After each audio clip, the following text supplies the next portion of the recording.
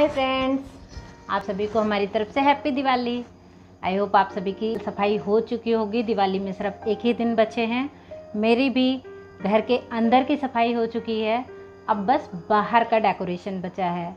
सो so, मैं share करने जा रही हूँ आपके साथ. बाहर के डेकोरेशन के लिए आज मैं क्या करने वाली हूँ? कुछ सामान तो मेरे पास पिछले साल का था. कुछ सामान मैंने नया लिया है.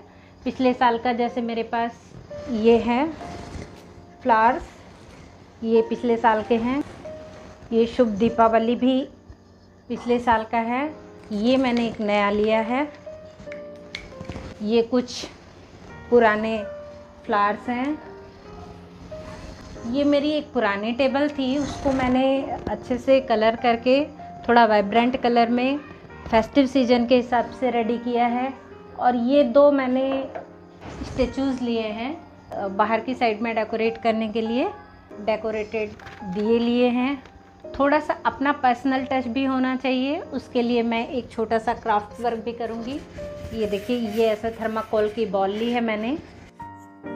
अब इस थर्माकोल बॉल और आर्टिफिशियल फ्लावर्स की हेल्प से मैं एक खूबसूरत फ्लोरल बॉल रेडी करने वाली हूँ अपने डोर एरिया के डेकोरेशन के लिए। ये मैंने टूथपिक ले लिया इन फ्लावर्स को बॉल के साथ अटैच करने के लिए। और ये है रिबन। इसकी हेल्प से हम अपने फ्लोरल बॉल को हैंग करेंगे। इस तरह से कुछ। आप चौड़ा या पतला कैसा भी रिबन ले सकते हैं। उसके बाद ये मैंने टूथपिक में फ्लावर को लगाया। उसके बाद इसको इस तरह से अटैच कर देंगे। हाँ इस तरह से। रेड और वाइट फ्लावर का कॉम्बिनेशन लिया है मैंने। ये देखिए ऑलमोस्ट रेडी है अभी ये। नाइस इस फ्लोरल बॉल को डोर एरिया में हैंग करके इसमें फेरी लाइट लगा सकते हैं। या विदाउट लाइट भी ये अच्छा लगेगा। ये देखिए, अब ये हमारा एक फ्लोरल बॉल रेडी हो गया। देखिए कितना प्यारा लग रहा है, कितना खूबसूरत है ये इसका कलर कॉम्बिनेशन भी। अब अपने घर के मेन दरवाजे को डेकोरेट करने के लिए मैं कुछ बना रही हूँ। ये मैंने एक कार्डबोर्ड पेपर ले लिया, उस पर एक सर्कल काट लिया। ये। उसके बाद ये कुछ आर्टिफिशियल फ्लावर्स लिए मैंने। अब इनको एक एक करके ग्लू गन या फेविकोल की हेल्प से इस कार्डबोर्ड पेपर पर चिपकाते जाएँगे। ये इस तरह से।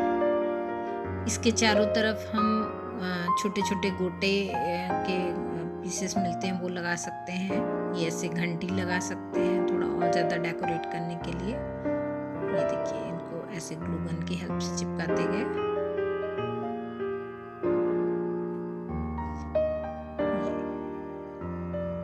इसमें हम एक से ज़्यादा कलर कॉम्बिनेशन भी यूज़ कर सकते हैं, जैसे मैंने यहाँ पर येलो और ऑरेंज यूज़ किया है।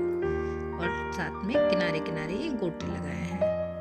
बाहर के एरिया का पूरा डेकोरेशन आज रेडी कर लेंगे। दिया और रंगोली कल लगाएँगे। अब ये दो आइटम हमारे रेडी हो गए। चलिए अब बाहर चलते हैं इसको डेकोरेट करने के लिए।